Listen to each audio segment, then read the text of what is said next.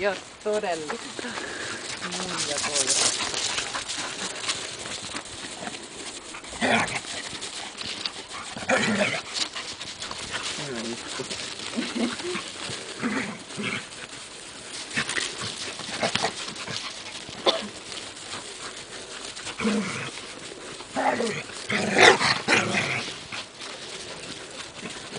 No, Oskari on ihan se, että antakaa nyt mä leikin ton ruudin kanssa.